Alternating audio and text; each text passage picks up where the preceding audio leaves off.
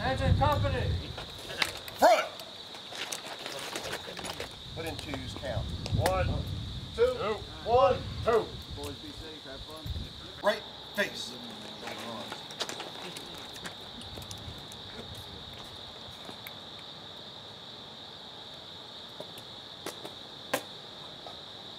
Forward. Mark.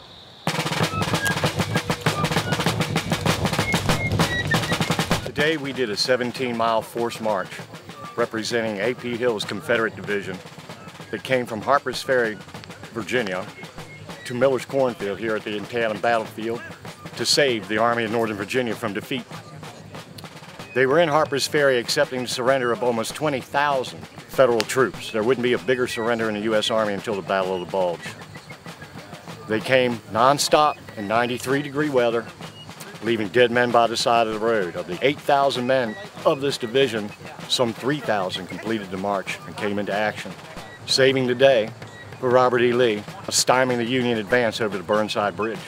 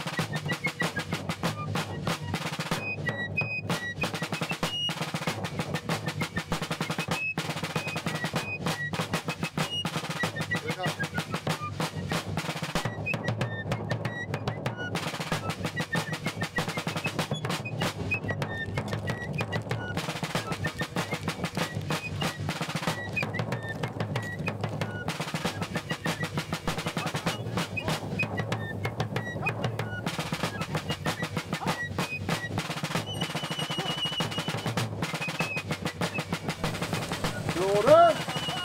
On. Order. On.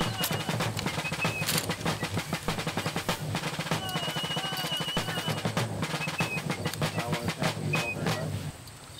It was a great, great pleasure.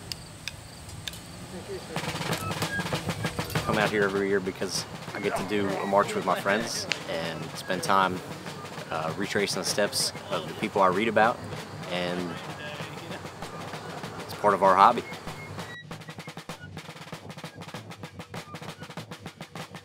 Something drew me into the Civil War.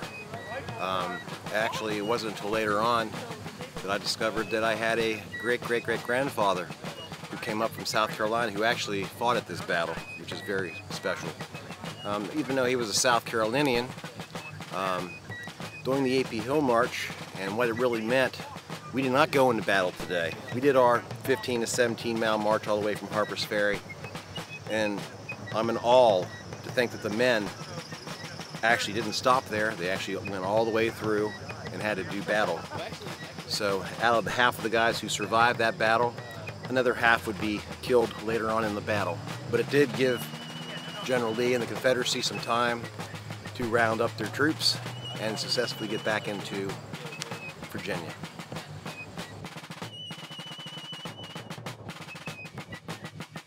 We march today to honor the men of both sides that fought here at Antietam. Uh, our Civil War was one of the things that made this nation great. It was a beacon of freedom to the rest of the world.